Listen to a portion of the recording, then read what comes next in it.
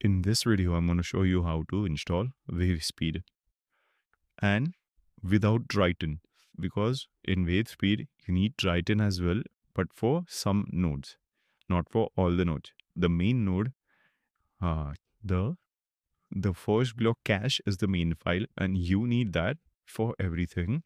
As you can see, Flux videos HD 3.5 and you need a compilation file for sum. So the main file is first block cache and you can uh, for Hunyuan video and SDXL, you don't need the compilation file and you can do this without uh, installing Triton. And if you need the compilation file, you need uh, Triton. So in this video, I'm just going to show you how to uh, install the first block cache file that you can use in Hunyuan video and SDXL. If you want a tutorial for uh, Triton, uh, leave in the comments. I'll do that as well. So let's get started. But before starting, please like, comment, and subscribe on my channel. So go down in the GitHub page, copy this, and go to the ComfyUI uh, custom nodes folder and just type cmd over here and paste the code. And this is done. Uh, so now open. Hmm. So as you can see, uh, this is the same Hunyuan workflow that I gave all of you guys in the previous video of mine. So let's just apply this. This is my first time doing this as well. So we need to just search this. Oh, wait a sec. Or you can just download if you don't want to do uh, if you're a beginner just go and search WaveSpeed over here and just download this right right over here this is way easier than opening command prompt and git cloning. So before playing the uh, first cache node let me just uh, do this step 6 q4 and just make one video uh, just to compare both of them how much time will it take so this the normal one took 463 seconds.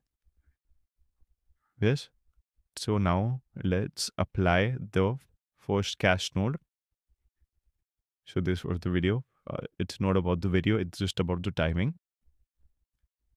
After that i applied first cache node but i got some errors uh, because i made a mistake and didn't do the right uh, what do you call it settings so now i'm going to show you the right settings and everything. So this and i made one more mistake. After that i did one step. Now i'm going to increase this. I don't know how it happened like one step but still now i'm going to show you guys. So apply first block cache. This is the setting that i used. The previous settings i did something else entirely. That's why there was a error so now this video that i made was just 369 seconds so it's a bit faster but not not that faster and the prompt were very easy if you would extend the prompts and made prompts a little bit harder then it would take much more time so the previous without the first cache was 463 second and after first cache was 369 or something around that. So now I'm gonna try. After that, I did a normal Hun 1 Q3 KS Hun uh, with six steps. But the video uh, video turned out to be very bad, but it took around only 431 seconds with first block cache. So if you do 20, it will turn around, come around uh, 5 to 600 100 seconds but my video recording got corrupted, so there was no video. But I I can say you this that it took around me 600 seconds, uh, 550 600 seconds.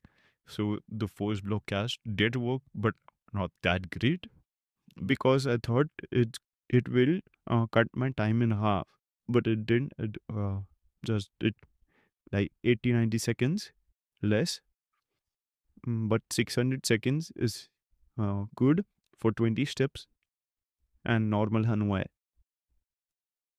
So this is the video done and this is how you install